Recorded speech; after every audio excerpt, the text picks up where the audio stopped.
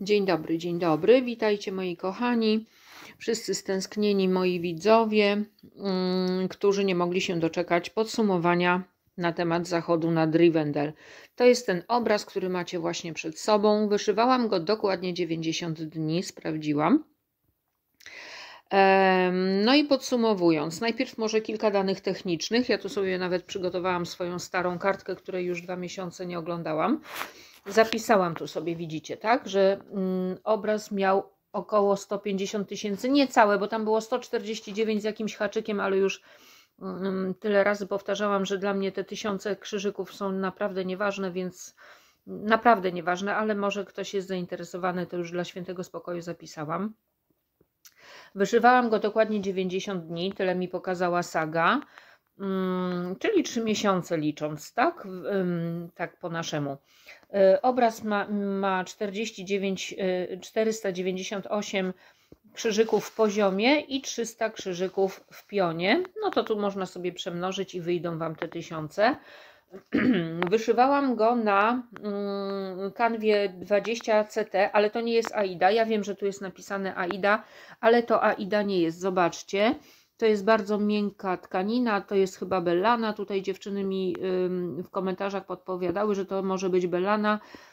Co to jest dokładnie, to ja Wam nie powiem. Taki materiał został mi przysłany Katrusi, przez Katrusiny Rukadziełki. Na pewno jest to tkanina firmy AIDA, ale bo widzicie, tak, ten pomarańczowy pasek, ale co to jest dokładnie, to ja nie wiem. Mm, mi się wydaje, że one, te dziewczyny pakujące mój y, zestaw, one się po prostu pomyliły.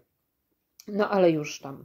E, dlaczego ja tego nie poprawiałam i nie wnosiłam reklamacji? Ponieważ ja ten obraz mm, zamawiałam w 2015 roku, a zaczynałam go wyszywać w marcu 2022 roku. 7 lat temu mm, kupiłam, przeleżał tyle lat w szafie, więc y, sami rozumiecie, że y, czas gwarancji, że tak powiem, w cudzysłowie minął. Nie było sensu w ogóle do nich pisać. Zresztą ja sama sama siebie bym wyśmiała, tak? Po takim czasie z jakimiś tam uwagami. No więc dobrze. Co dalej? Hmm. Wyszywałam oczywiście nićmi SHS. Mówię oczywiście, ponieważ ktoś, kto ogląda mnie od pewnego czasu, to wie, że ja innych nici nie używam. Znaczy, przepraszam, źle powiedziałam, używam, ale one są wszystkie zmieszane razem i ja po prostu nie zwracam uwagi na to, z jakiej firmy są nici, tylko pilnuję kolorów, żeby nie było, żeby nie było, wiecie, wtopy z kolorami, a reszta to wszystko ginie w tłoku. Ten obraz wyszyłam y, półkrzyżykiem mm, i pamiętacie, jeśli ktoś tu jest od jakiegoś czasu, to pamiętacie, że ja się obawiałam, czy ten półkrzyżyk nie spowoduje skosu całej pracy. I owszem, Powiem Wam, że moje obawy nie były bezzasadne. On jest lekko skoszony. Spróbuję Wam go tak mocno prostopadle pokazać. Widzicie, w prawą stronę górny prawy róg, lekko jakby kopnięty ten obraz jest w prawą stronę. Z tym, że on jest nie naciągnięty, tak? On jest tylko wyprany i wyprasowany i ja myślę, że ten skos da się naciągnąć w oprawie. Mm, planuję y, oddać ten obraz do firmy w Gdańsku czy w Gdyni, już nie pamiętam, tu Sysia było. Pozdrawiam Cię Sysia, dałaś mi na miarę. Ja znalazłam tę firmę w internecie. Na razie się do nich jeszcze nie odzywałam, bo u mnie to jest bardzo długa droga do oprawy. Myślę, że tam pojadę po prostu y, przy okazji odwiedzając którejś z moich dzieci Y, znajdę firmę, a może wszyscy razem całą bandą się tam wybierzemy z psami i z dziećmi i dobrze, że kotów nie mamy, bo koty też byśmy zabrali. I po prostu pójdziemy tam, pooglądamy, co dziewczyny mają do zaproponowania i ja myślę, że one to skorygują, ten skos, bo on nie jest jakiś taki bardzo duży. Y, wydaje mi się, że to jest do zrobienia. Podejrzewam, że gdybyśmy z mężem sami to chcieli oprawiać, to byśmy chyba sobie z tym poradzili. No ale trzeba dać zarobić ludziom też. Mhm, dobrze, co tu jeszcze Wam powiedzieć na temat tego obrazu? Jak mi się go wyszywało? W zasadzie ta tkanina jest beznadziejna. I mam teraz porównanie, bo obecny mój obraz, za chwilę będę o nim mówiła, wyszywam na kongres Straminie i mam porównanie. Kongres jest po prostu cudowny. Tam też wyszywam półkrzyżykiem, a ta miękka szmatka jest beznadziejna. Ja nigdy więcej nie wezmę czegoś takiego do wyszywania. Mm, poza tym te nici nie miały umocowania w kanwie i one mi się często przesuwały, wiecie?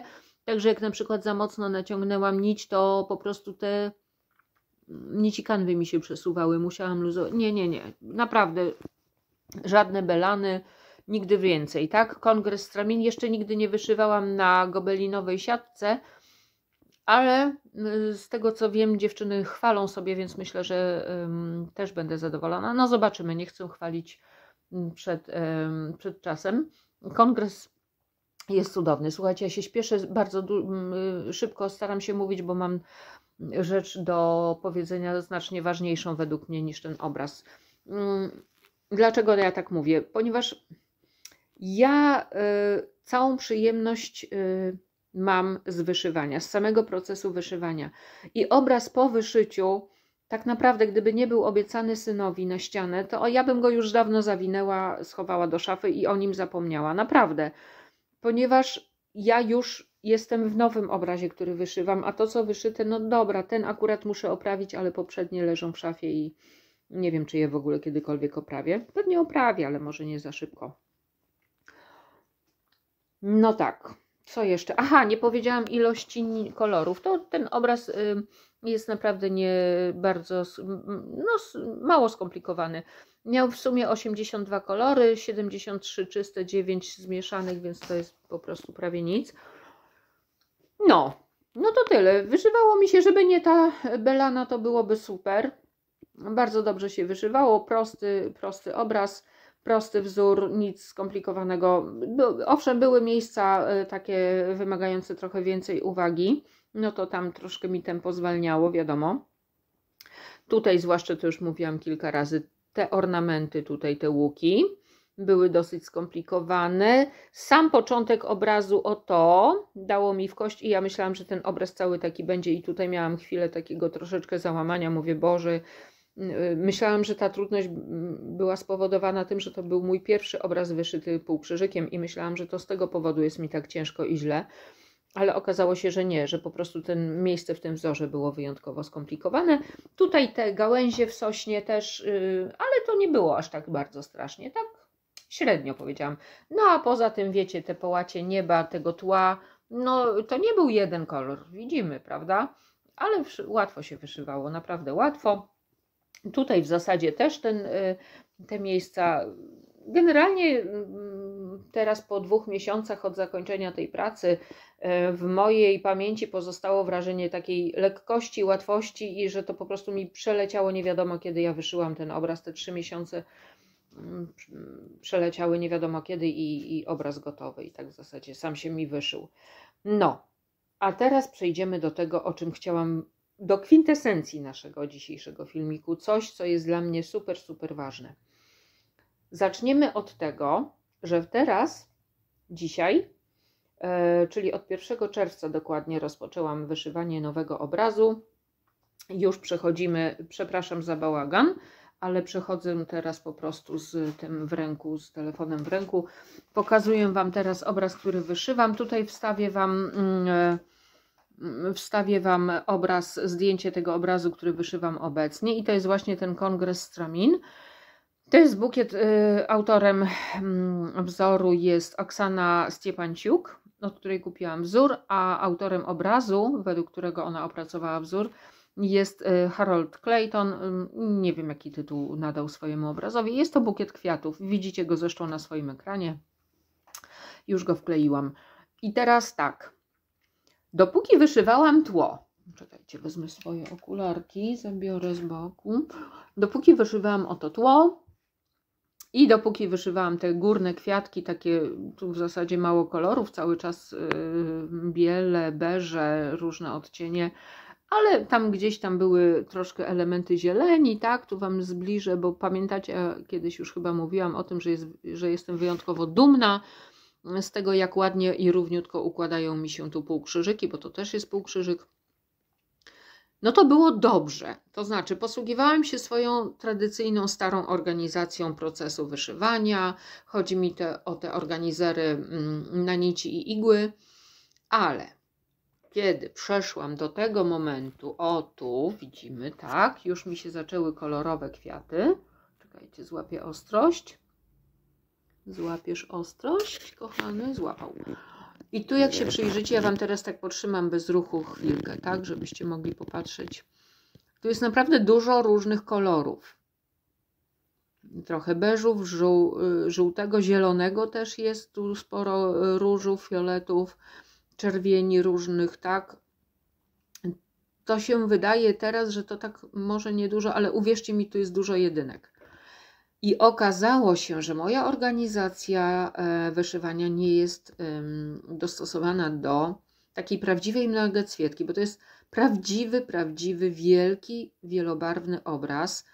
Tu mam 170 chyba jeden kolorów, też z głowy Wam teraz mówię, ale myślę, że zobaczyliście już na ekranie, e, bo tam są podane, nie, nie są podane, to ja inny obrazek. Dobra, poszukam inny obrazek i wkleję Wam taki, y, w którym będzie napisane ile jest kolorów.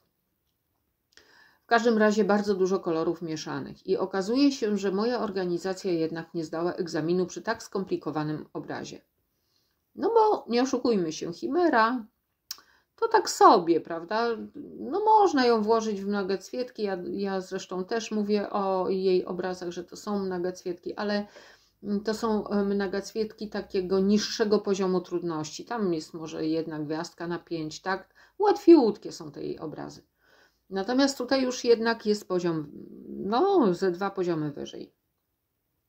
I teraz Wam pokażę, co mnie zaczęło uwierać. Jeszcze sobie zachowałam tak, żeby Wam pokazać jeden swój stary organizer, żeby pokazać Wam, na czym polegał problem.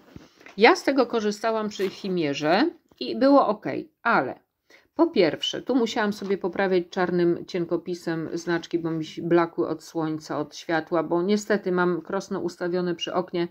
Mm, staram się zasłaniać je e, taką, mam tutaj kapę, którą przykrywam na dzień, jak odchodzę od wyszywania, zajmuję się domowymi sprawami, ale często zapominam o przykryciu i one są narażone niestety te te znaczki na słońce. No i widzicie, co, co się stało, tak? Wyblakły. To jest jedna rzecz, ale oczywiście tu moja wina, bo nie zasłaniałam. Natomiast kolejna rzecz to, to jest taka, że nie mogłam nigdzie znaleźć mm, formatu, w którym mogłabym sobie wydrukować o te właśnie karteczki z, z wzorkami, bo ja je zaczęłam ze sobą mylić. Ponieważ teraz Wam pokażę na przykładzie, przepraszam za trzęsienie, ale wam pokażę, chcę Wam pokazać, na czym polegała trudność. W tych wielkich mnogocwietkach jest tyle znaczków. Ja wiem, że na upartego te, te, te projektantki mogłyby się postarać, ale podejrzewam, że one lecą po prostu tak, jak im program e, podpowiada i one się nie bawią w zamianę znaczków, żeby było łatwiej wyszywać nam. One po prostu robią tak, żeby im było łatwiej projektować. Ja je rozumiem. I teraz tak przechodzimy do tego, zaraz Wam powiem skąd to mam.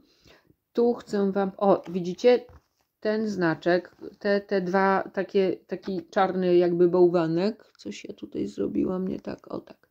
E, dwa czarne, dwie czarne kropki sklejone ze sobą, ok? Zapamiętajcie, są. I teraz tu, czekajcie, że chcę Wam pokazać. O tu mamy dwie kropki sklejone ze sobą. Haha. Myślicie, że to jest to samo? Nie. Ja wiem, że ktoś, kto wyszywa od jakiegoś czasu, to już wie, że to są znaczki różne. Te są małe, a te były duże. I teraz, kiedy one stoją obok siebie, no to ok, to ja widzę tę różnicę. Ale jeżeli ja widzę ten znaczek raz na ruski rok i to wiecie, w dalekiej odległości nawzajem od siebie, no to ja je mylę. I teraz Yy, próbowałam samodzielnie sobie wydrukować te znaczki. Nie udało mi się, naprawdę próbowałam na wiele sposobów. No i teraz przejdę do podziękowań. Yy, chcę podziękować bardzo mocno ludziom, którzy mi pomogli. To są dwie osoby przekochane, przewspaniałe, które same się do mnie odezwały przez Messengera i które mi zaproponowały pomoc i jestem po prostu im niezmiernie wdzięczna. Po pierwsze dziękuję pani Kasi Kotowicz, która mi zaoferowała pomoc w wydrukowaniu mojego e, znaczków do mojego wzoru i to właśnie na jej e, organizerze teraz pracuję. Jej e, organizer posłużył mi za podstawę do tego igielnego organizera, gdzie wtykam sobie nici, e, igły z nićmi, które nie, nie wyszyły mi się do końca i które sobie czekają na swoją kolej. Ona, to jest jej e, strategia opracowała taką i ja sobie tak poprosiłam, bo właśnie wymyśliłam, że takie coś będzie mi pasowało tutaj na ten organizer igielny. Wspaniale mi się z tym pracuje, już trzeci dzień tak wyszywam z tym, jest cudownie. Te kartki ksero, które sobie wydrukowałam, to są zwykłe kartki ksero, nic szczególnego w nich nie ma. Przykleiłam na takie pianki z... Ja to w Pepko kupiłam, słuchajcie, to są takie jakby puzzle piankowe dla dzieci. Nie wiem jak to się nazywa, chyba puzzle po prostu. I ja sobie kupiłam taki komplet. Mm, tu zostawiłam te, te, te puzzlowe takie wypustki. I to są dwie pianki razem złożone. Nie wiem, czy tu widzicie, nie chcę tego wszystkiego no nieważne. I tu sobie obcięłam z brzegów te, te wypustki mm, puzzlowe, żeby mi nie przeszkadzały, żeby mi tu miejsca nie zabierały, bo u mnie to wszystko leży na moim krośnie. I na razie jeszcze mam po prawej stronie ten organizer, ale jak tu będę przechodziła dalej i dalej, zabiorę to brzydactwo. Jak będę przechodziła dalej i dalej, to ja po prostu całość, bo to mam na takim plastikowym e, wieczku, plastikowej pokrywce od pudełka po prostu to wszystko przełożę sobie na lewą stronę i będę sobie wyszywała, trzymając to z tej drugiej strony. No, ja tak wyszywałam już długo. Czyli Pani Kasiu, super, dziękuję, dziękuję, jeszcze raz dziękuję. Bardzo mi to pięknie służy. Jestem zachwycona. I druga osoba, cudowny młody człowiek, który y, odezwał się do mnie mm, i znowu pewnie pomylę nazwisko. Wiem, że ma na imię Mariusz. Mariusz, ja Cię bardzo przepraszam, jeśli pomylę Twoje nazwisko. Chyba Kreczyk. E, Mariusz do mnie też się odezwał sam z siebie i zaproponował mi pomoc. I on mi y, wydrukował y, znaczki razem, też razem z numerami nici. No bo nie wspomniałam o tym. Mi zależało e, na tym, żeby oprócz symbolu był też numer nici, ponieważ właśnie w takiej sytuacji, jak tu z tymi e, mm, podobnymi bardzo znaczkami, to ja po prostu sprawdzam, tak? Czy to na pewno o ten blend chodzi, czy może o jakiś inny. I to mi nigdy się już tu nie pomylę, a zdarzało mi się pomylić. Dlatego się przeraziłam, bo stwierdziłam, że to jest zbyt duże ryzyko, żeby tak wyszywać na czuja. Ja muszę mieć pewność, że biorę dobry kolor nici, bo obraz jest naprawdę skomplikowany, jeśli chodzi o kolory. Y, sama trudność wyszywania to o tym za chwilę. Na razie wracamy do naszego Mariusza. Mariusz, dzięki, dzięki, dzięki, dzięki.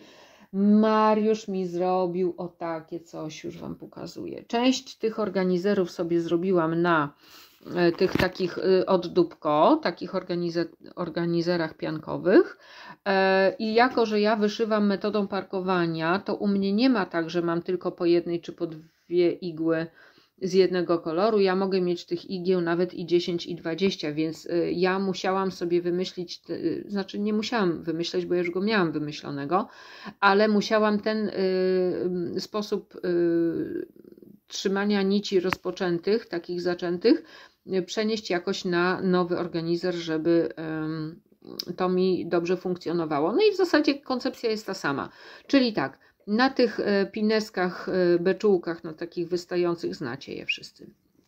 Trzymam sobie nici pełne, czyli takie, których jeszcze nawet nie zaczęłam.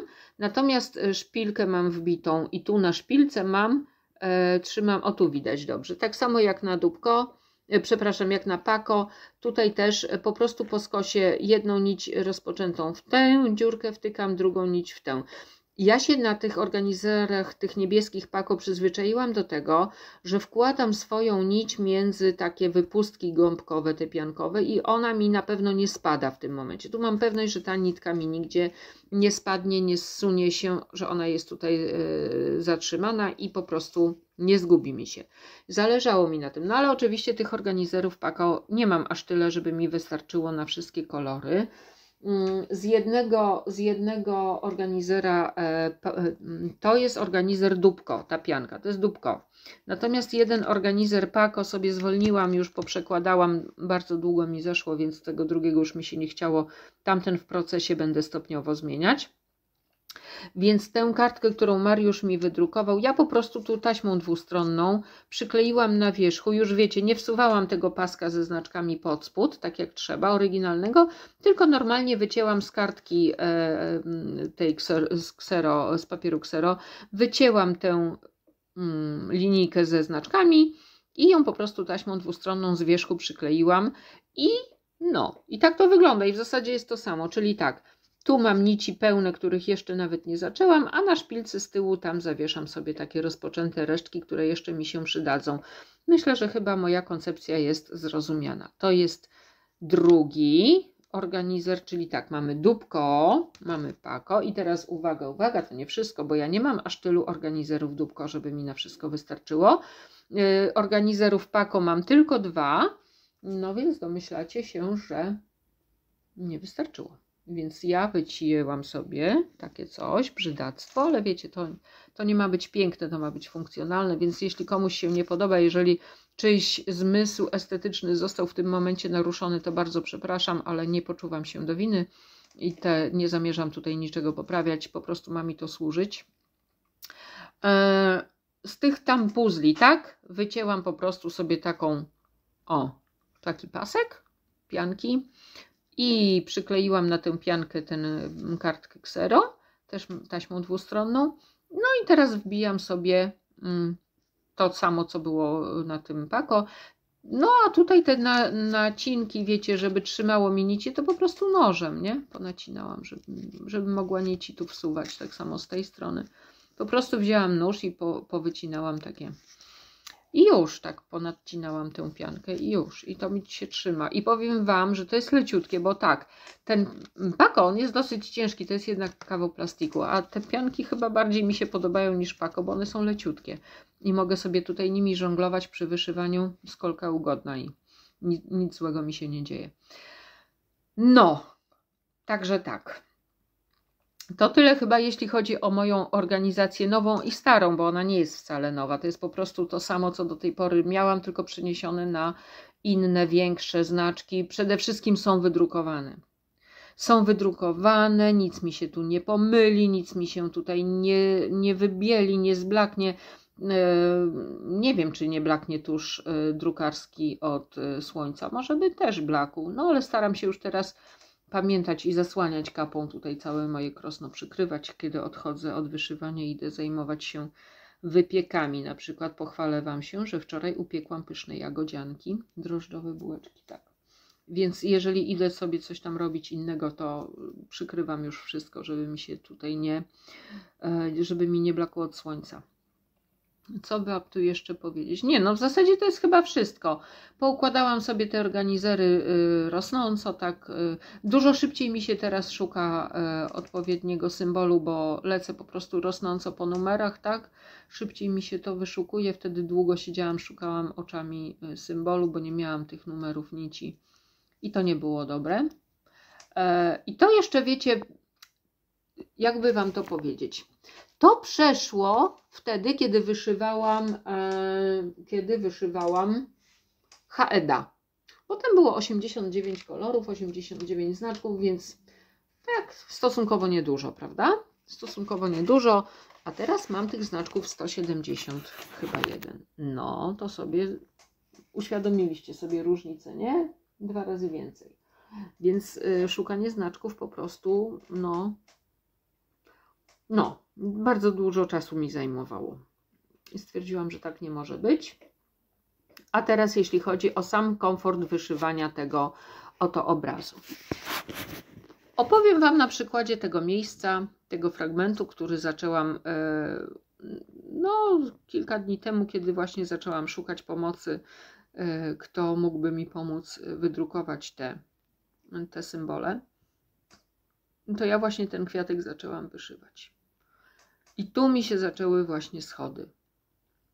Ale jak już mam opracowaną organizację, kiedy mam już wydrukowane symbole i one mi się na pewno już nie mylą, bo sprawdzam zgodnie z numeracją nici, to po prostu to jest bajka. Owszem, tempo mi spadło, ale wiecie co? Jeżeli zależy Ci na czasie wyszywania, czyli na tempie, żeby jak najszybciej wyszyć, to, to moja metoda nie jest dla Ciebie. Przypominam, że ja wyszywam metodą parkowania z kosami. Nieważne, że z kosami, że to jest parkowanie, to jest ważne. Jeżeli Tobie zależy na tempie wyszywania i chcesz jak najszybciej wyszywać, jak najwięcej mieć tych wyszytych prac, no to parkowanie dla Ciebie nie jest. Eee, dla mnie dlaczego ja przyszłam na parkowanie i jestem mu wierna od y, długiego, długiego czasu, ponieważ dla mnie najważniejsze zawsze było to, żebym ja, siedząc z nosem przy kanwie, tak, w czasie wyszywania, żebym ja mogła podziwiać własne równiutkie ściegi. Żebym ja nie musiała się denerwować, że jeden krzyżyk jest większy, drugi mniejszy, trzeci wciśnięty między dwa sąsiednie, czwarty wypukły, sterczący i brzydki, jakiś wielki bohomas, bo tak było y, w poprzednich haftach, które wyszywałam y, kolorami, a nie właśnie tym moim parkowaniem.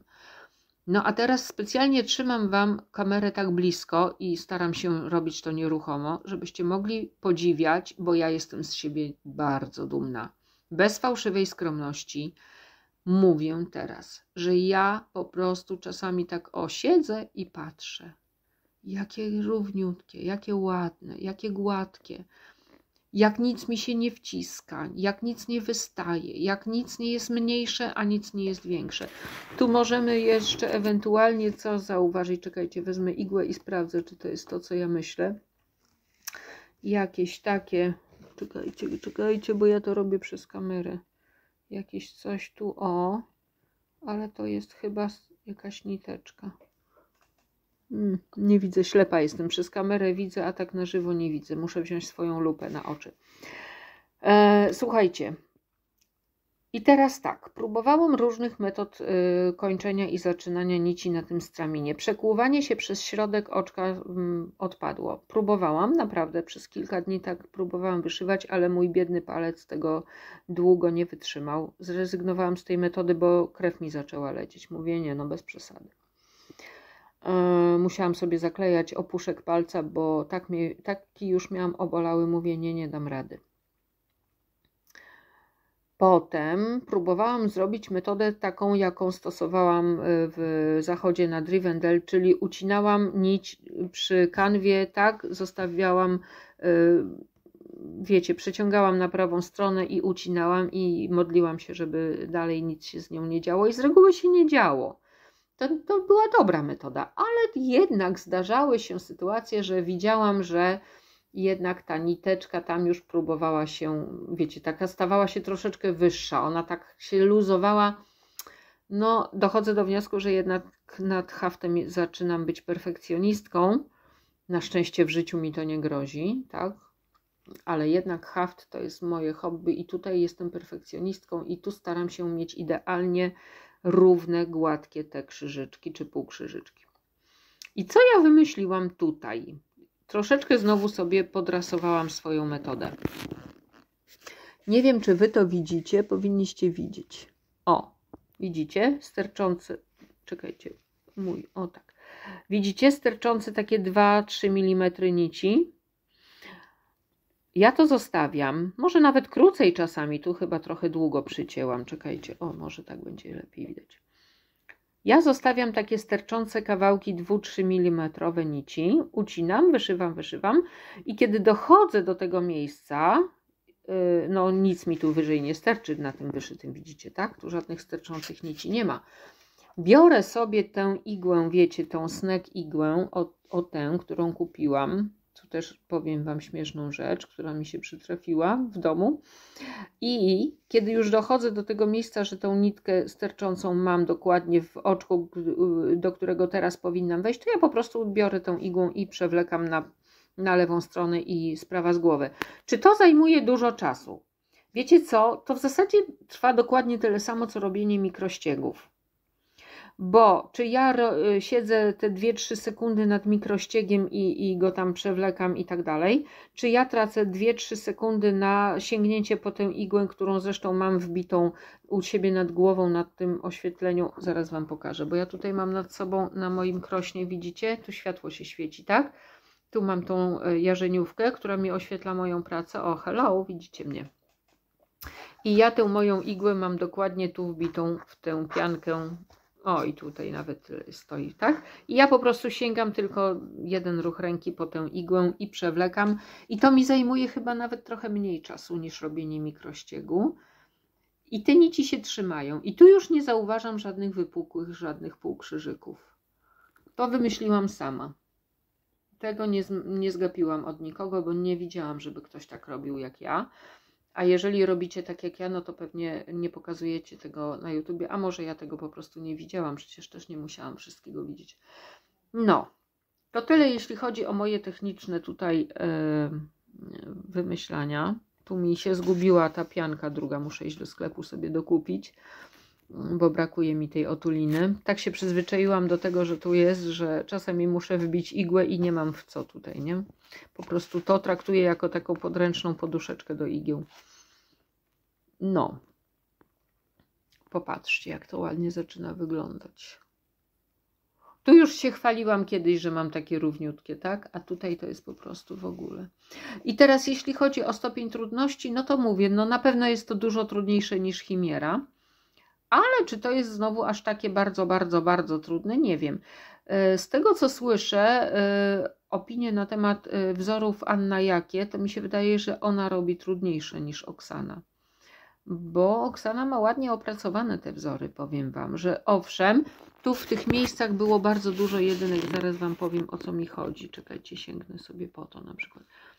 O, tu brzegi, tak? Kiedy łączą się te kontury kwiatków, no to tutaj te brzegowe oczka, o te, no to rzeczywiście były pojedyncze.